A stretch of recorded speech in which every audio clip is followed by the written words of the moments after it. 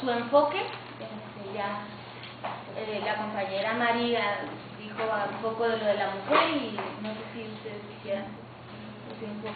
Bueno, yo creo que nosotros eh, buscaremos la manera de eh, un- una propuesta que hemos venido trabajando es al, al rescate de los jóvenes en peligro inminente.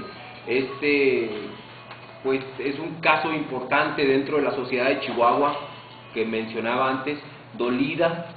Entonces vamos a trabajar nosotros para hacer una ley que de alguna manera pueda apoyar a los jóvenes en algún riesgo para de alguna manera ofrecerles una buena beca, un buen sentido de, de educación, ayuda psicológica y apoyo desde luego para poder nosotros apoyar a estos jóvenes que mañana seguramente irán a ser nuestros gobernantes y es el